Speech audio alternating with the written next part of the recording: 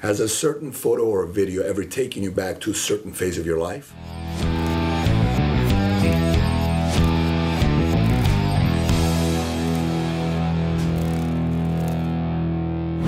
You know, every time I watch this video, I get excited because yeah, sometimes we kind of just sit there and we say, What was I thinking about at 15 years old? What was I thinking about at 20 years old? What was I thinking about at 25 years old? And this video, when I watch it, I get the chills all over my body because it's me in my late 20s thinking about what the future looks, where I'm going, what we're doing, certain plans, and, and I wanted to share that video with you. Here's a video. I didn't figure out that mitosis, meiosis stuff in science.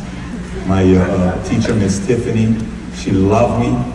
But the last day, the day before we took our final, I never forget this, the senior year, she says the following two students out of the 75 don't need to come to the last day.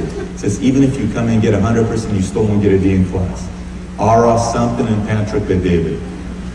And I left, I said, hey, she said, give me a hug because I really enjoyed you. Have a lot of good jokes. I said, at least you like me couldn't go to college. I couldn't try. If I went to college, I, I couldn't go to college. Went to the army, came out of the army, tried to be a cop, I had too many speeding tickets. Randy here inspired me to be a cop one day. I had nine speeding tickets. Apparently with nine, you can't be a cop. you don't even know my plans 20, 30 years from now. Well, I remember by the time I'm 38, 48, 58, 68, if I survive, a lot of good things I want to do here some of the things I've been planning in my mind with my business plan is, is going to outlive me. My grandkids won't even see it. You know, we went to Europe we went to that church, St. Mark's Church. The guy that wrote up the plan knew it took 330 years to build it. He knew he would never see the final product. His kids would never see the final product. His great, great, great, great grandkids would never see the final product. But he's still building.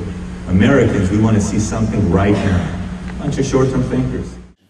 And what I take from this message is, just like I said at the end of the video regarding the church that was built that took 330 years and generationally, all those things that I talk about, I think the challenge is two ways. One, we sometimes either all we think about is our problems that are happening today, right? We, we only focus on today and we don't cast a vision to focus on where we want to be 5, 10, 15, 20, 30 years from now that inspires us of what the future looks like, or there are times that all we think about is what the future is going to look like, and we don't move and take action today to fulfill our prophecy of where we want to go in the future.